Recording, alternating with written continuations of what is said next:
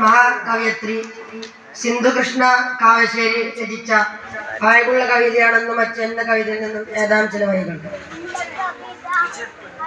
ആദ്യമായി കവിതയിൽ പറയുന്നത് അച്ഛന്റെ പുറത്തുള്ള സ്വഭാവവും അകത്തുള്ള ചിന്തയും കുറിച്ചാണ് കവിതയിലേക്ക് കിടക്കാം കാഴ്ചയിൽ കല്ല് പോൽ തോന്നാറുണ്ടെങ്കിലും അഴകുള്ള കവിതയാണെന്നു അച്ഛൻ അമ്മ ചൊല്ലിത്തരും കഥകളിൽ നിത്യവും മേവാർന്ന നായകനെന്നു അച്ഛൻ മേവാർന്ന നായകനെന്നു അച്ഛൻ അറിയാതെ പ്രതിസന്ധി പുണരുന്ന നേരത്ത് പുലുങ്ങാത്ത കുന്നു പോലുയരുമച്ചൻ അറിയും തോറും ഉള്ളിൽ അത്ഭുതം കൂടുന്ന ആഴക്കടലിന്റെ താഴ്ചയച്ചൻ.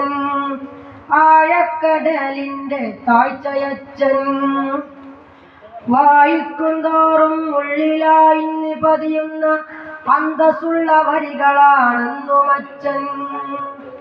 കർക്കശ മേലാട വാരിയണിയുമ്പോൾ ഏഴകിനുള്ളിൽ ഒളിപ്പിക്കുമച്ചൻ ഏഴകിനുള്ളിൽ ഒളിപ്പിക്കുമച്ചൻ ചോരയെ നീരാക്കി രാവു പകലാക്കി ജീവിതത്തോടൊന്നും പൊരുതുമച്ചൻ വാക്കുകൾ കൊണ്ട് ഇളക്കുവാനാകാത്ത മൂന്നക്ഷരമുള്ള ലോകമച്ചൻ മൂന്നക്ഷരമുള്ള ലോകമച്ചൻ. മുൾപാതയിൽ പാത മൂന്നി നടന്നാദ്യം മൂർച്ചാവഴിയിൽ കുറിച്ചതച്ചൻ.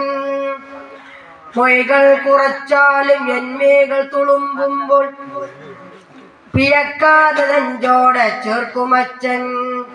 പിഴക്കാതെ നെഞ്ചോടെ ചേർക്കുമച്ചൻ. നോക്കിലും വാക്കിലും കാഠിന്യമുണ്ടേലും.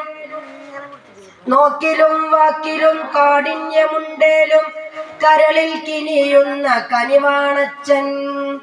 തനിയെ നടക്കുമ്പോൾ കാലിടറി വീഴുമ്പോൾ കൈ ഉയർത്തിയതെന്നുമച്ചൻ. കൈ ഉയർത്തിയതെന്നുമച്ചൻ.